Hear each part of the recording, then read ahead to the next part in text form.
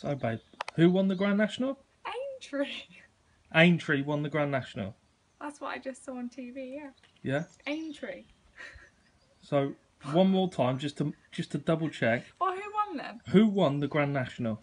Well, I thought it was a horse called Aintree. Why? Why is that funny? The actual course is Aintree, and you've dropped a burger.